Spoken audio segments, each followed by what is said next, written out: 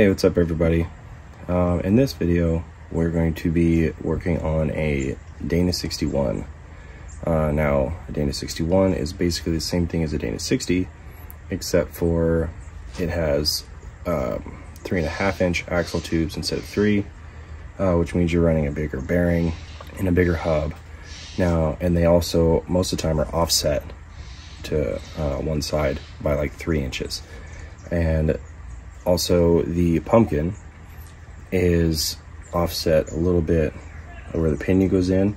They moved it over about a quarter inch because in a lot of those Dana 61s, they ran uh, the like 307s, which had really big pinions. So to run that, they moved, they moved that, the, the pinion, where like the pinion bearing and everything goes right there, they moved that over.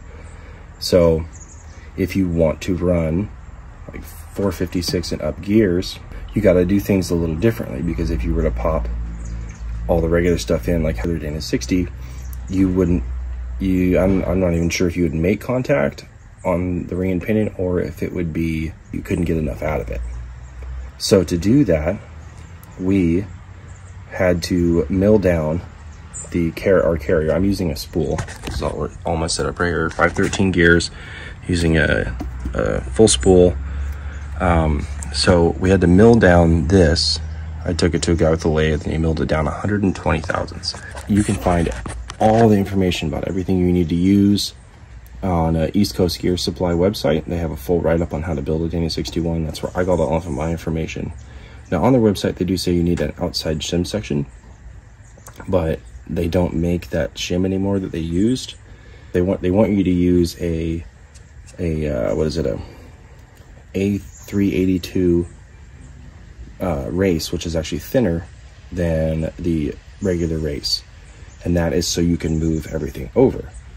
But if you do that, the bearing actually, the bearing housing cage actually sticks out of the race. So when you're trying to put it in and out of the carrier, it catches the housing.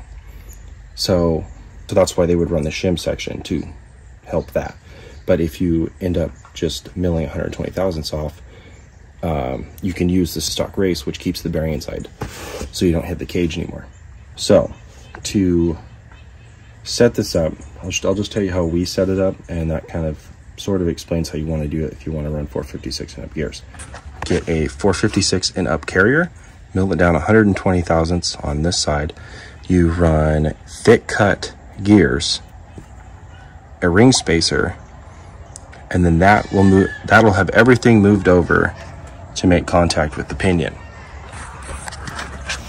and that's pretty much it it's actually pretty simple once you get everything you get all the parts and all that it's uh, not too bad um, and now another thing to note uh, about a Dana 61 is that you if you want to run 35 spline you don't have to bore out the uh, bore out the tubes because they're already plenty big enough. So that's kind of cool. Um, one thing to note too, I ran into, I didn't know about this either, is since they run a bigger hub, uh, if you want to run disc brakes, which I'm running disc brakes, I already have it on the Cherokee and I'm swapping it over to this, you have to grind down the surface right here for this to work. And so this needs to be worked a little bit more. It's not, it's not like all the way down yet. In some places it is, but it needs to be ground down a little more. If I had the other side off, I would show you how it, uh, how it didn't, wouldn't match up and how much you kind of got to grind off of it. It's if you want to run the disc brakes, which why wouldn't you? Um, but yeah, so that's pretty much uh, everything about the 61 that I can think of right now that you need to know. Um, this isn't going to be like a how to put gears in or and how to get everything set up, how to get your pattern, all that. I mean, I'm assuming if you're there's tons of videos online, and I'm assuming if you if you're setting up one of these, you probably kind of know already how to do all that stuff. You're just not sure how to get everything to meet up. If you want to find out if you have a Dana 61, which is pretty easy to figure out, um, just by the axle tubes being three and a half, the offset, uh, if it has 307s in it. With They don't all come with 307s. Mine came with 373s. Um, but, you know, the offset and the tubes, uh, the bigger bearings, bigger hubs. Here's your serial number and all that stuff. So you take your serial number, I believe it was this really faint one right here.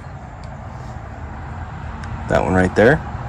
And you run it, you decode it, which I'll post the link to the decoder I used, and then that'll that will give you a definitive answer whether you have a Dana 60 or a Dana 61. Um, but you might already know that by now. You're going to kind of see us putting it together a little bit and then hopefully getting this installed in the Cherokee. As you can see, I have a truss and coilovers and all that good stuff on there that has to be built on this one. I'm also going to weld these. So should be a really good axle.